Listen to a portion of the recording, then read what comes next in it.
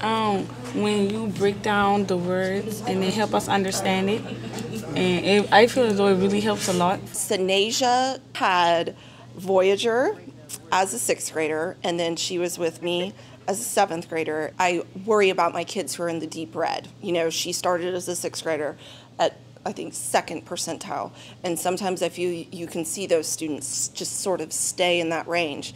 But she grew to yellow last year, so she was in the teens as far as MAP, and then this year she got exactly what her goal was, which was to get into the 26th percentile, which would be green, you know, what we have. Um, and she got a 213, and she just looked at me and she said, This three years, it really paid off. so, I mean, she gets and she knows that she is always going to have to work hard. She's very aware of that. And um, she's just got this mindset now that really, if you do put in the hard work, it will pay off.